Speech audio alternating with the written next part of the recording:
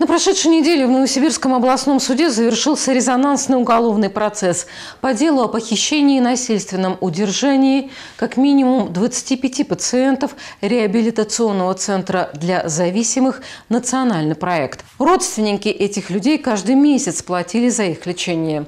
В итоге на скамье подсудимых оказалось 6 человек. Суд признал их виновными, но за решетку никто из них не попал. Почему? Об этом далее в прецеденте.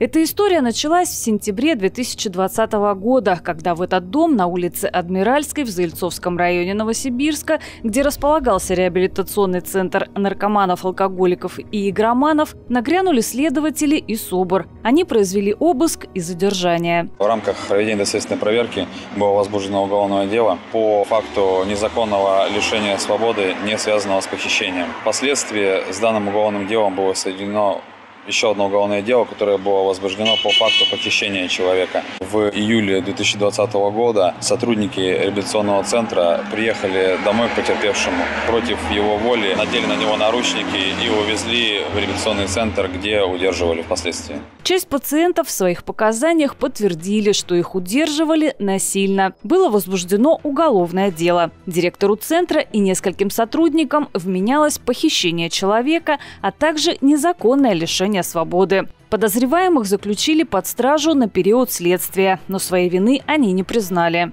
Я считаю, что никакого преступления я не совершал. Все люди у нас были по добровольному согласию.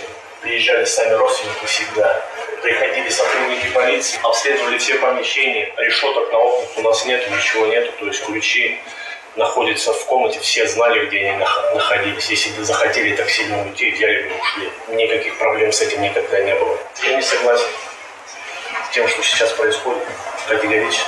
Получается, как у нас а, проходит? Заключается договор с родителями в присутствии человека, который будет выздоравливать, он пишет свое согласие на курс реабилитации. Только после начинается с ним работа. Я насчет вот этой ситуации могу сказать только одно, что это один непорядочный человек подговорил других, таких же не очень морально устойчивых людей, и, ну, как, как наговаривают, как оговаривают людей. Вот так и произошло.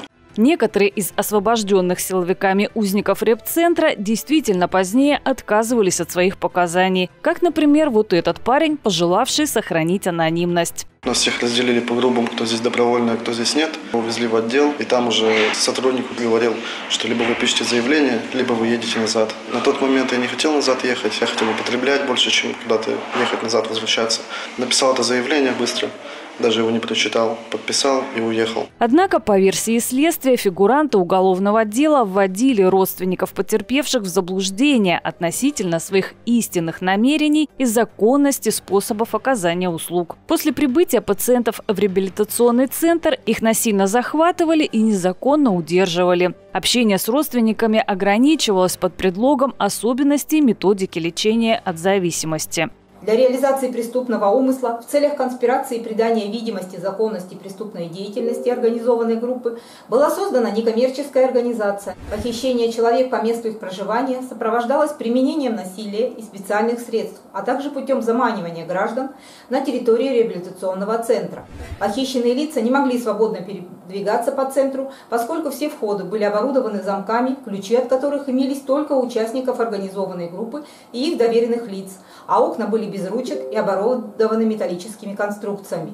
В доме имелись цепи и гири для связывания людей, а периметр центра охраняли собаки. 20 марта Новосибирский областной суд вынес приговор шести фигурантам этого уголовного дела. Директора репцентра и его подельников признали виновными в похищении и удержании 25 человек. Согласно действующему законодательству, им грозило до 15 лет колонии, но суд назначил обвиняемым наказание без ограничения свободы. Самый длительный срок получил директор центра Сергей Абашев. Совокупность преступлений, высчиточным сложением назначенных.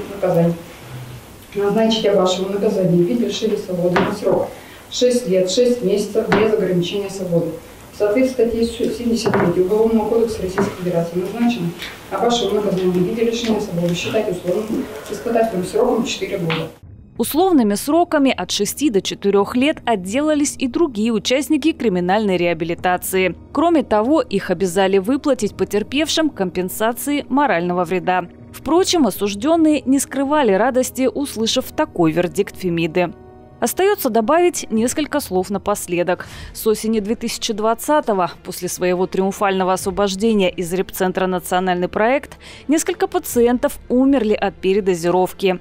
Еще один 19-летний солевой наркоман в состоянии ломки нанес своей 17-летней девушке 35 ножевых ранений в день ее рождения накануне 8 марта. Ранее родители пытались вылечить его в оскандалившемся репхабе.